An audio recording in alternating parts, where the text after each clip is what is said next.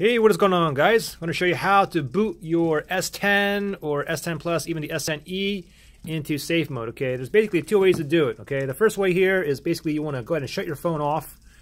And then once you boot it back up, I mean, you basically want to press and hold the power button. And then as soon as you see the logo, let go of the power button and then press and hold down until the phone is completely booted up, okay? So let's go ahead and do it this way first. So the phone is currently off. I'm going to go ahead and press and hold the power button.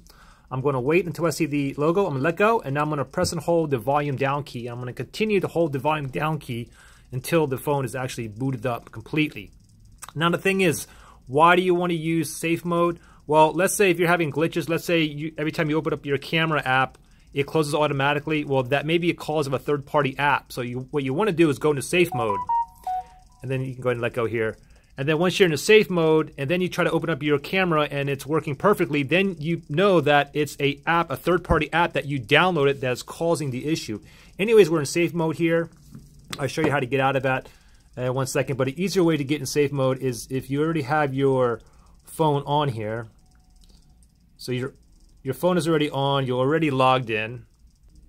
Now what you got to do is just go ahead and press and hold the power button till you get this, uh, ooh, press and hold the power button till you get this menu here. And then the power off here, just hold that. Just hold it. And then right here it says safe mode. And then tap again and it's going to boot into safe mode. Okay, now to get out of safe mode is very, very simple. You can see that I'm in safe mode here right now.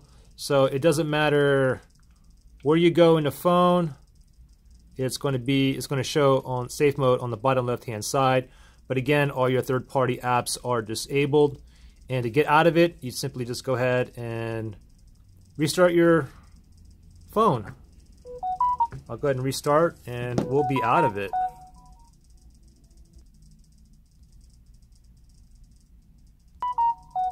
All right, there you go. We're out of it. So pretty simple. Any questions or any issues with your phones, just uh, comment below. Thanks for watching. See you guys in the next one.